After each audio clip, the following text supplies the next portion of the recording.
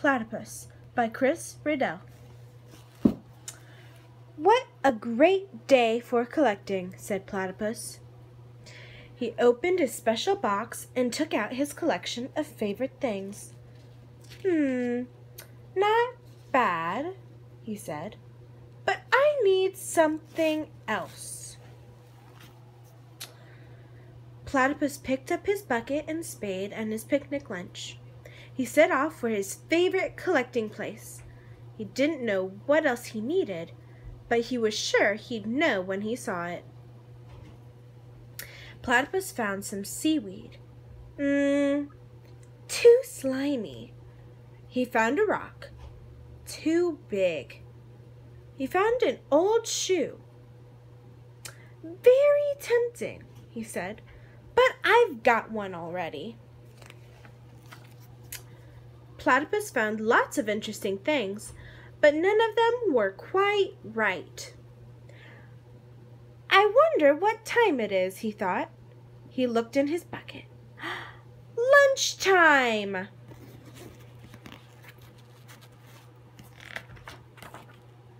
After lunch, Platypus built a sandcastle.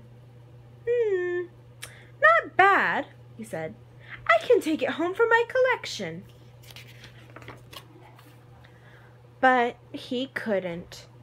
He picked up his bucket and a large curly shell fell out onto his toe. Perfect, said Platypus. Just what I was looking for. This is what was missing from my collection, he said happily. Something to remind me of the sea.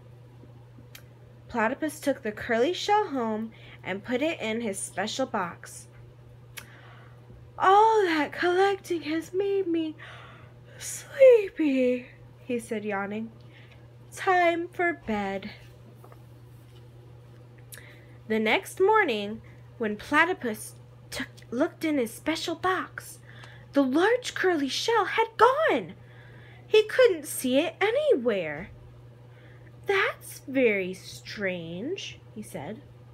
Platypus searched everywhere for his shell, he found an old sandwich and a tickling stick and another old shoe. But no shell.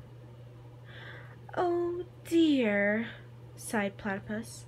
I'll have to find another shell for my collection. He set off for the beach again. On the way, Platypus saw something that looked familiar. That's just like my curly shell, he said.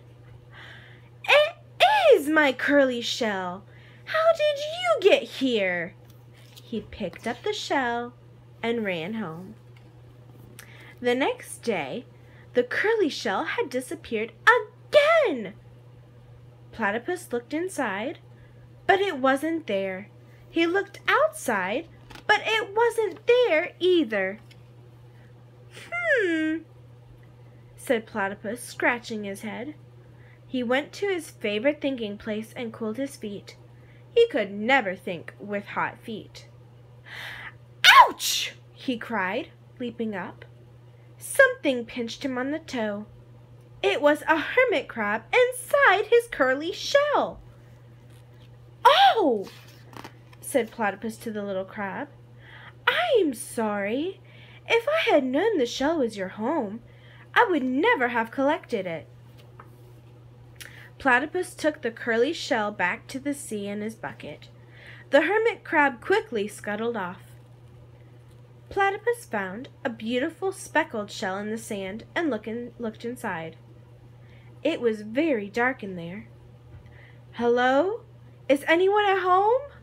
he said. There was no answer. He held the shell to his ear. He could hear the sea. Perfect, said Platypus. The end.